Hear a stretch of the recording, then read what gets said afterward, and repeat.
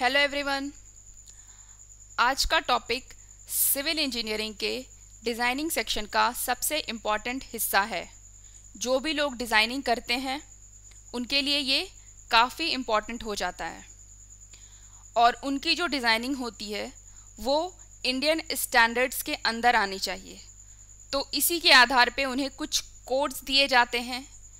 उसी के आधार पे वो उन उनके अपने डिज़ाइनिंग को कंप्लीट करते हैं और फिर उसे पास करते हैं। अगर वो उनके कोड्स के अनुसार होते हैं तो ही उनके डिज़ाइनिंग डिज़ाइन किए हुए जो भी स्ट्रक्चर होते हैं, जैसे कि सामने है ही ये बिल्डिंग हो गया डैम्स हो गया रोड हाईवे एयरपोर्ट ये सब उन, इन कोड्स के अंदर आने चाहिए। इनकी डिज़ाइनिंग इन कोड्स के अंदर आनी चाहिए तो ही उनके डिज़ाइन को पास किया जाता है, वरना नहीं। और जैसे कि ये दिख रहा है कि इंडियन स्टैंडर्ड्स के अंदर होने चाहिए तो मतलब कि इनके डिज़ाइन सिर्फ़ इंडिया में ही सीमित होंगे। इंडिया के बाहर उनके डिज़ाइंस को मान्यता नहीं दी जाएगी। तो ये सारी चीज़ें हो जाती हैं इंडियन स्टैंडर्ड्स के अंदर के क्या रीज़न है? ये इंडियन स्टैंडर्ड कोड्स का क्या वर्क है? क्या वर्क प्ले करते हैं ये? तो ये बेसिक चीज़ हो जाते हो जाता है उनके डिज़ाइनिंग के लिए। ठीक है? Total number of forty one groups हैं इसके। कोड्स तीन चार नहीं होते, बहुत सारे कोड्स होते हैं अलग अलग डिज़ाइनिंग होती है, ठीक है? अब जैसे सीमेंट होंगे तो उसके भी कोड्स हैं ब्रिक होगा उसका भी कोड है कंक्रीट या आरसीसी पाइप है, ठीक है? या सॉइल है, सबका अलग अलग कोड्स है। तो उसी के आधार पे वर्क होता है। इसका जो भी हेडक्वार्टर है, ये दिल्ली में है। याद रखना है क्योंकि क्वेश्चन पूछे जाते हैं इससे। मैंने यहाँ पे ये टॉपिक इसलिए लिया है क्योंकि इससे क्वेश्चंस पूछे जाते हैं। चाहे वो रेलवेज एग्ज़ाम में हो या एस एस जेई में हो या फिर दूसरे एग्ज़ाम में हो उनके कोर के सिविल वालों के कोर के एग्ज़ाम में। तो ये आ, मतलब कि ये हो जाता है इंडियन स्टैंडर्ड का इंडियन स्टैंडर्ड कोड्स का वर्क अब देखते हैं कि इनके कोड्स का कौन कौन से कोर्स जो हैं, इनको पढ़ने हैं। इंडियन स्टैंडर्ड्स के अंदर जो भी कोड्स आते हैं, वो कौन कौन से हैं? और ये काफ़ी इंपॉर्टेंट है, इसलिए याद रखना है रेलवेज एग्ज़ाम के लिए एटलीस्ट सारे ब्रांचेस आप लोग कॉन्सेंट्रेट करेंगे और इसे याद रखने की कोशिश करेंगे। दो तीन बार एक्सपोजर होगा तो याद हो जाएगा, ठीक है? देखो, सबसे पहले जो कोड आता है, ये बहुत ही इंपॉर्टेंट हो जाता है I S four five six four fifty six two thousand इसके अंदर प्लेन एंड रेनफोर्स्ड कंक्रीट इसका जो भी डिज़ाइनिंग होता है प्लेन एंड रेनफोर्स्ड कंक्रीट के लिए ही होता है, बस। I S code four fifty six two thousand ठीक है? याद रखना है इसको। इसके बाद आता है I S eight hundred two thousand seven इसके अंदर जो भी स्टील के, जो भी डिज़ाइनिंग होते हैं स्टील के स्ट्रक्चर्स की डिज़ाइनिंग अब जैसे कि स्टील का स्ट्रक्चर कैसा होगा? अभी जैसे मैंने आपको बताया ना कि I S four fifty six तो इसके अंदर आ जाता है कि ये कंक्रीट जो है, इसका मिनिमम डेप्थ क्या होगा? मिनिमम थिकनेस क्या होगा? ठीक है? तो उसी तरीके से इसका भी होता है कि ये जो स्टील का डिज़ाइनिंग होता है, वो इसका कैसा स्ट्रक्चर होगा? इसकी क्या डेंसिटी होगी? वो सब कुछ इंडियन स्टैंडर्ड्स के अंदर आता है। 800 2007 इसके अलावा इसके कुछ स्पेसिफिकेशन भी हैं। मतलब कि कोई स्पेसिफिक जो भी डिज़ाइन होता है, वो इसके अंदर आ जाता है। I S two thousand sixty two. ठीक है? तो इसे भी याद रखना है। कहीं कहीं पे क्वेश्चन इससे भी पूछा गया है। Specific specification about the steel used in general purpose उसके अलावा आई एस कोड 808 1989 ये गाइडलाइन करता है हॉट रोल्ड स्टील स्ट्रक्चर के लिए, ठीक है? तो इसे भी याद रखना है। ये तीनों में डिफरेंस है। देख लो यहाँ पे। 800 2007 ये वाला 800 2007 आईएस कोड 800 2007 आईएस कोड 2062 ये अलग टाइप ऑफ़ स्टील है और ये जो है, ये अलग टाइप ऑफ़ स्टील है। इसलिए आप इसे डिफ्रेंशिएट कर लो अभी के अभी अपने माइंड में कि ये कैसा है। 808 याद करने के लिए सबसे पहले है 800 800 बोला general structure of general construction of steel ठीक है? दूसरा अपने माइंड में रख लो 808 guideline of guideline on the dimension of hot rolled steel ठीक है? तो 808 में आ जाता है।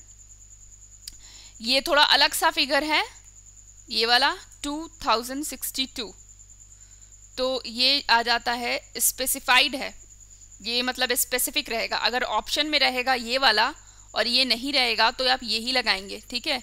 ये वाला इंपॉर्टेंट है। 800 2007 मेनली इसी का यूज़ करते हैं स्टील के स्ट्रक्चर के लिए। तो इसे याद रखना है। नेक्स्ट आते हैं आई एस कोड 1200 इसका यूज़ करते हैं detail regarding measurement of a building and civil engineering work जो भी बिल्डिंग का कंस्ट्रक्शन होगा, उसके एनालिसिस में ही इसका यूज़ होगा, ठीक है? तो इसको याद रखना। Detail regarding measurement of building and civil engineering work जो भी। उसके बाद इसके अं-, अंदर 28 पार्ट्स होते हैं। इस पे इस पे भी क्वेश्चन आता है कि आई एस कोड 1200 में कितने पार्ट्स होते हैं। ठीक है? तो ये याद रखना।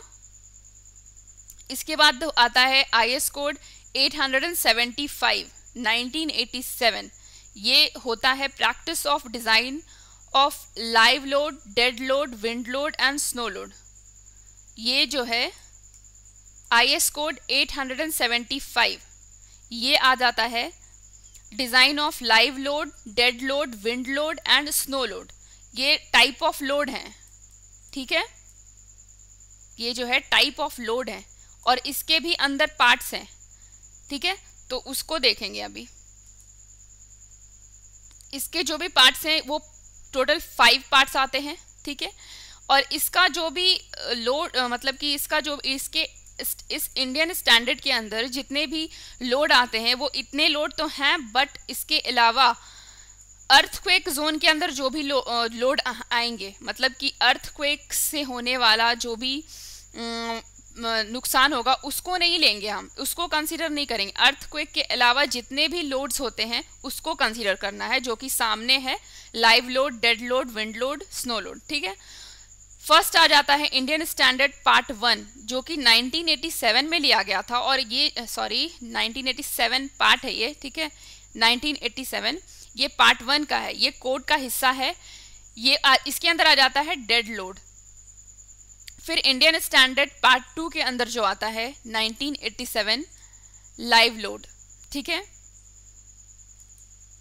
याद रखना है इसको कि पार्ट वन में आता था डेड लोड पार्ट टू में लाइव लोड याद करने के लिए मैं अभी बता देती हूँ आपको।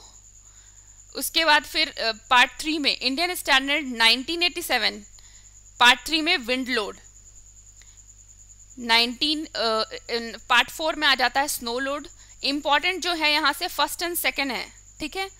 थर्ड भी है। याद करने के लिए ए बी सी डी में सबसे पहले डी आता है ना तो पार्ट वन में डी आ जाता है। उसके बाद एल आता है। तो लाइव लोड आप लोग पार्ट टू में रखोगे, उसके बाद फिर डब्लू आता है तो विंड लोड थर्ड में। फोर्थ और फिफ्थ से मे भी नहीं आता है क्वेश्चन बट लेकिन याद रख लो कि जो एस से था पार्ट फोर में 1987 स्नो लोड था, और ये जो पार्ट फाइव में जो था, वो स्पेसिफाइड लोड मतलब कॉम्बिनेशन ऑफ़ लोड होगा पार्ट फाइव में। तो वो तो याद रहेगा कि जो सबसे लास्ट में लोड लास्ट में जो पार्ट था, उसमें कॉम्बिनेशन ऑफ़ ऑल लोड्स हैं। तो मैंने आपको क्या बोला यहाँ याद रखने के लिए कि इस कोड के अंदर जो भी है earthquake earthquake zone में जो भी आने वाले हैं क्राइटेरिया उसको हम कंसिडर नहीं करते हैं अदर लोड्स को कंसिडर करते हैं। उसके अलावा जो नेक्स्ट है इंडियन स्टैंडर्ड 1893 2002 इसके अंदर जो भी आते हैं, वो अर्थक्वेक रेजिस्टिंग डिज़ाइन होते हैं। ठीक है? मतलब इसकी डिज़ाइनिंग जो होगी आई एस कोड 18 93 के आधार पे होगी। ठीक है? क्योंकि जो डिज़ाइनिंग होती है, इसके अंदर वो सारी वो सारे यूनिट्स होंगे, जो कि बाकियों के अंदर नहीं हैं। तो ये बहुत ख़ास हो जाता है ना? अर्थक्वेक रेजिस्टिंग डिज़ाइन जो है, ये काफ़ी ख़ास हो जाता है। ये हर जगह नहीं होगा। ये मेनली उस जोन पे होता है जहाँ पे अर्थक्वेक आने के चांसेस बहुत ज़्यादा होते हैं, जैसे कि दिल्ली। दिल्ली में बहुत ज़्यादा चांसेस होते हैं अर्थक्वेक आने के। इसलिए वहाँ पे जो भी स्ट्रक्चर डिज़ाइन किए जाएँगे, वो इसके आधार पे होते हैं। Eight I S code eighteen ninety three two thousand two तो इसे याद रखना इंपॉर्टेंट है ये। फिर आ जाता है Indian standard thirty thirty three hundred seventy nineteen sixty five यहाँ पे आ जाता है concrete structure for the storage of liquid तो ये याद रखना कि कॉन्क्रीट को स्टोर करते हैं लिक्विड में। तो यहाँ पे मैंने आपको क्या क्या बताया? ये सारे लोड्स हैं। सॉरी ये सारे इंडियन स्टैंडर्ड कोड्स हैं, आपको याद रखने हैं।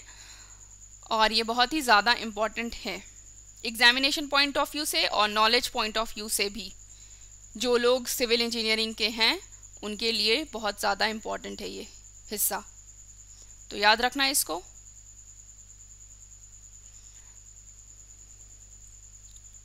या लिख लो कहीं पे। इसके अलावा, जो भी सर्वेइंग का पोर्शन था, अभी कंप्लीट हुआ नहीं है तो जब वो कंप्लीट हो जाएगा तो मैं उसका वीडियो तैयार कर दूँगी क्योंकि मुझे उसे कन, उसके कंटेंट को पहले कलेक्ट करना है।